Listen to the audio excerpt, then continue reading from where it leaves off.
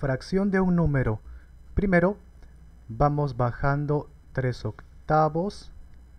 D es multiplicación y ahora 48. Como hay multiplicación, cualquiera de estos de arriba se podría dividir o simplificar con el de abajo. ¿Cuál? Conviene 48 porque 48 entre 8 es exacto.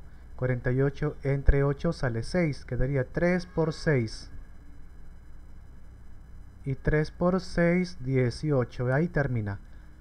La misma idea debajo, un sexto, el D es por, y ahora 18 entre 6 es 3, quedaría 1 por 3. Y 1 por 3 es 3. Respuestas finales.